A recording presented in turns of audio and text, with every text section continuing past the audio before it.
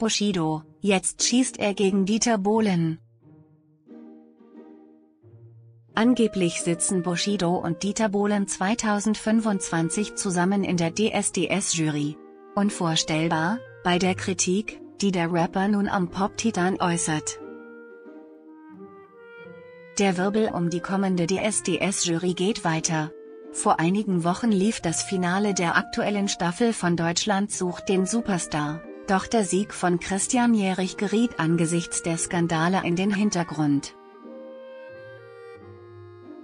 Bushido spricht Klartext über Dieter Bohlen.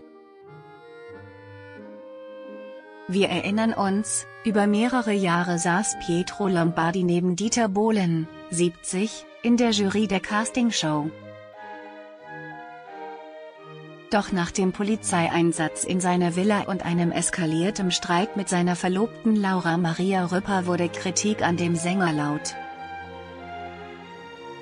Schließlich trennte sich RTL von dem DSDS-Sieger. Ob das Jury aus mit den Schlagzeilen zusammenhängt, ist unklar.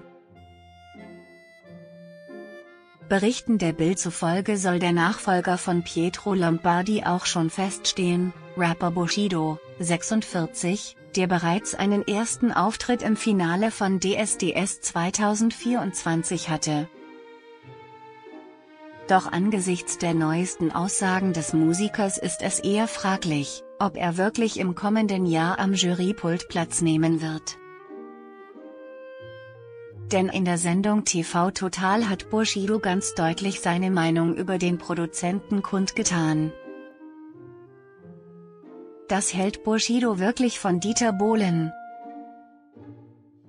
in dem Spiel Das Ranking sollte Bushido mit seiner Frau Anna-Maria Ferch-Itschi verschiedene Stars aus dem Musikbereich bewerten, von Nummer 1 als bester und Nummer 7 als schlechtester in der Kategorie.